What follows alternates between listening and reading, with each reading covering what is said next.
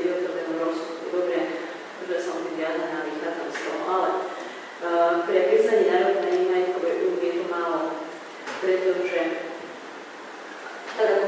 újmy je na tom použila, mala by e, vlastne to, za diskrimináciu teda zodpoveda a subjekt je za to konanie teda A aj z toho, že ona sama nevie určiť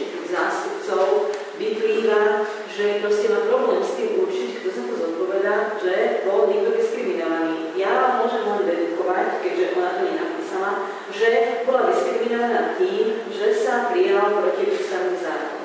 Teraz vždycky sú na tých váhach sloboda prejavu a na druhej strane uh, obmedzená len tým, ak sa nezasiahol do osobnostných práv. Pokiaľ nikto nepovedal, že Pavlovič v súvislosti tým a tým uh, jednoducho uh, je skorumpovaná a tak, takýmto spôsobom zasiahol, tak jednoducho neprichádza vôbec do úvahy uh, na základe nejakého verejného, kde existuje fakt sloboda prejavu, naozaj každý si môže písať, čo chce, dá sa povedať a všeobecne nazývať sudcov uh, smola, ale uh, jednoducho je to tak.